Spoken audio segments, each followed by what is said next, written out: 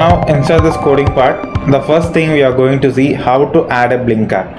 So this particular Arduino file also here we have a particular Blynk app section.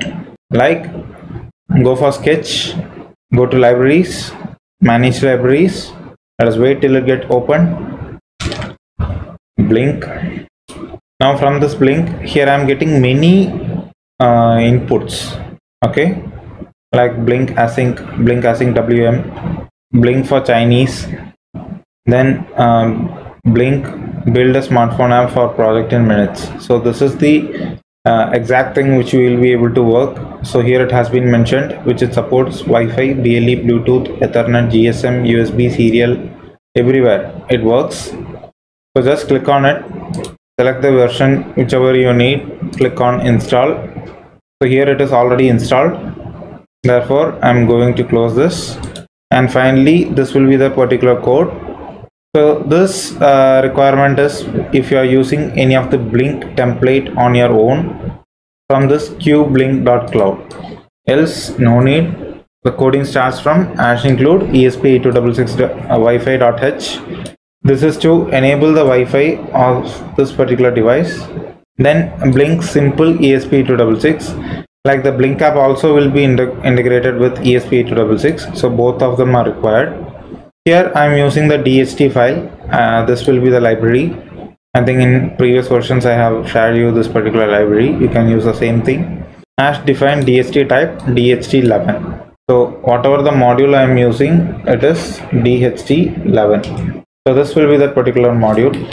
Then after that the DJ, dht pin will be connected to dht0 then uh, dht it is meaning that this particular file here this particular file will be replaced as this name small dht within bracket we'll be calling the dht pin as well as dht type. Therefore both has been combined and it has been prepared.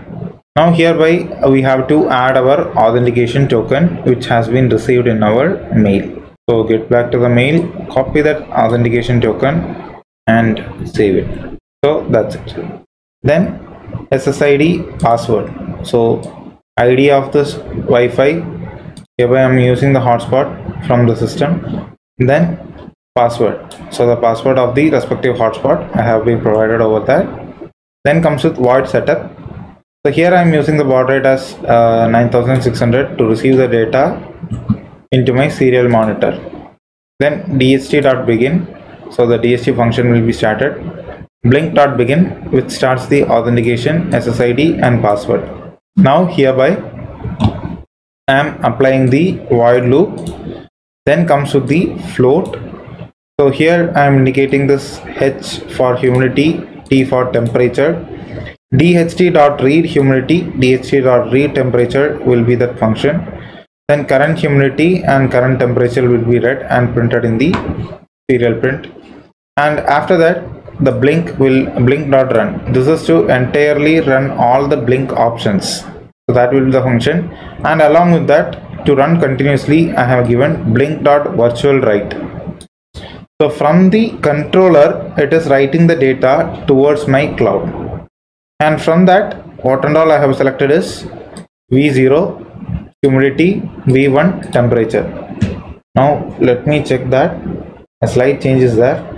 So here v1 is temperature and v0 is humidity.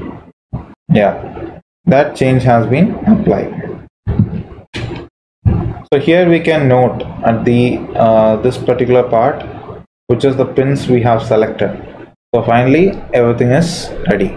Now go to tools select the port select the board and upload the code. So in that meantime check the pin which we have connected. It is D0 hereby I'm going to connect the DHT so where comes the data pin? At D0 then comes with the ground and the power supply with VIN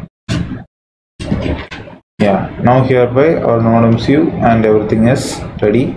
And hereby I am going to uh, run this particular app on the top right corner you can see a play button just run the app till now it is in offline once the code is uploaded and the wi-fi is connected we can see the same data will be replicated over there. So this takes a quite while, a quite while in order to uh, upload the data towards the controller. 92 percentage and 100 percentage it has reached. Open the serial monitor. It is 9600 and hereby we have received the data. Now hereby we can see that entire percentage as well as the temperature in a digital format. So 24 degrees Celsius and 69 percentage as humidity. Now hereby if I try to change, take some time to change but anyway the change is ready.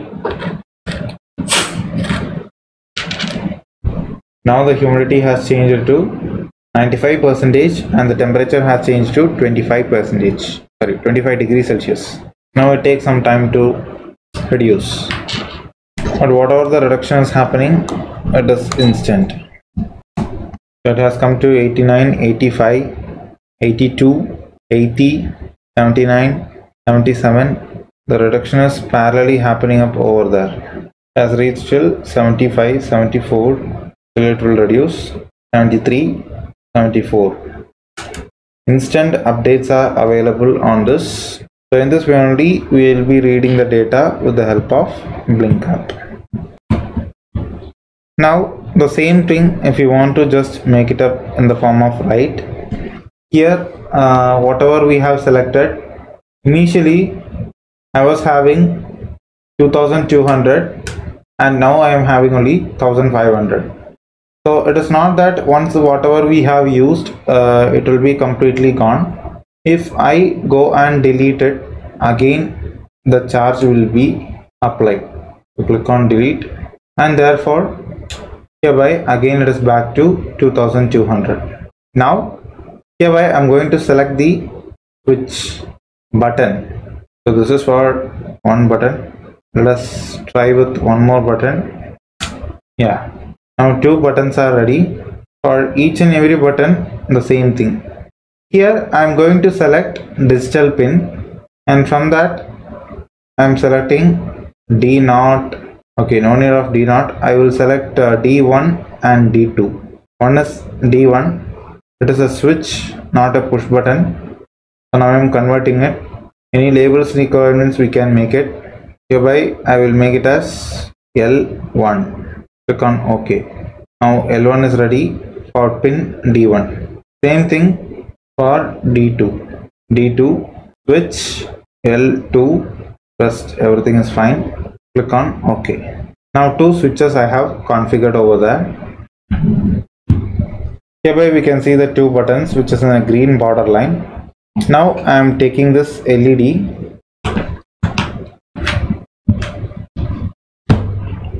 and I am connecting this LED towards one on ground. One pin is on ground.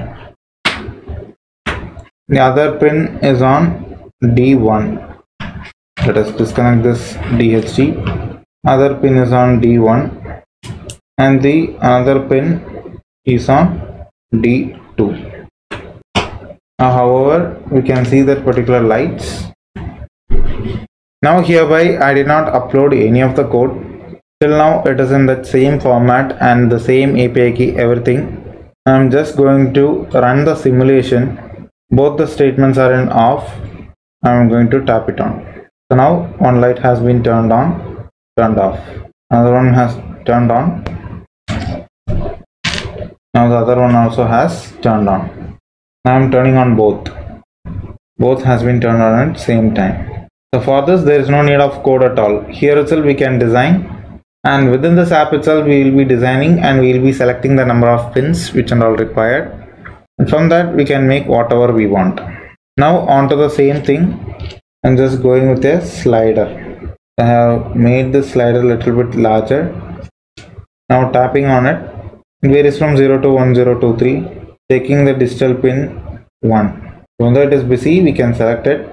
No issues at all. So all of the uh, sections are correct. Click on ok. Execute it just i am moving. Now you can see that particular light is glowing. So whenever i'm decreasing some brightness changes there. Only slight brightness we will be able to see that variation. Now i am decreasing. Once again i am decreasing it has turned off. Slightly moving. Brightness is slow increased. Increased. So this will be the maximum. Whenever it reaches near 255 itself the da uh, data will be maximum. Because even though if you are going with pulse width modulation all the uh, digital pins inside the node MCU is pwm only. So whenever it reaches maximum of 255 definitely that will be varied. But here uh, it is the maximum value is 1023 that can be reduced also to two five. click on ok. Click on play. So some changes we can see in a low level.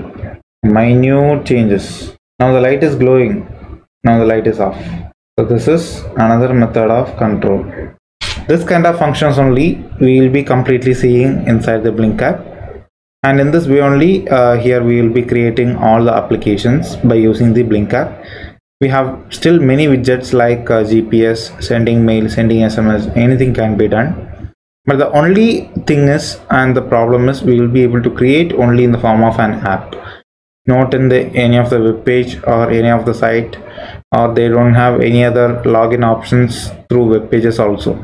So completely this can be monitored with the help of app let it be any kind of phone or microsoft or android or it may be iphone anything. Anywhere we will be able to integrate and work it as easy as possible. Thank you for watching our video. If you like this video kindly click on the like button and share the video to your friends. Don't forget to subscribe our channel